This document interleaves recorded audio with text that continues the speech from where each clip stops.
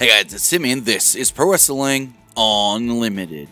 So earlier today we told you that both Britt Baker and Rey Fenix may have suffered some injuries last night at AEW Dynamite.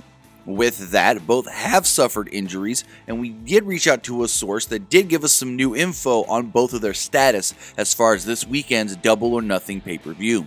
As far as Britt Baker does go, I believe, but I can't confirm that she did get an MRI done, but I was told by one source that Britt Baker was feeling a lot of pain in that knee. It was not feeling good whatsoever.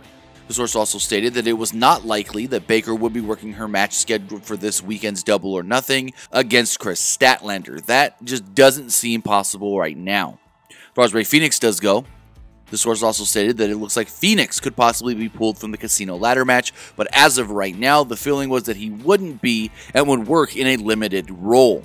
Fenix just wouldn't do any of his high flying, death defying stunts and would probably end up being one of the ladder guys entered into the match. So that way he's in the match less and then would just do less in said match. So with that, it wasn't confirmed if either had been pulled from their matches at Double or Nothing, but it didn't look good that either would be in their matches, yet Fenix was more likely than Baker to work the pay per view.